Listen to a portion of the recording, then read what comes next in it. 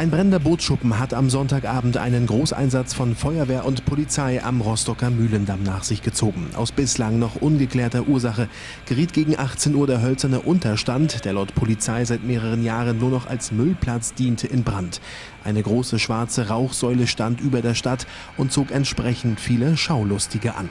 Berufs- und Freiwillige Feuerwehr rückten mit einem Großaufgebot zur Brandbekämpfung aus der gesamten Stadt an. Schwierigkeiten bereitete den Kameraden, dass der in Flammen stehende Bootschuppen schlecht zu erreichen war. So musste die Feuerwehr den Brand auch aus einer Löschkanone bekämpfen. Der Mühlendamm wurde für den Fahrzeugverkehr vollständig gesperrt. Die Kriminalpolizei wird den Tatort erst nach dem vollständigen Abkühlen voraussichtlich am Montag betreten können. Erst dann können auch die Ermittlungen zur Brandursache aufgenommen werden.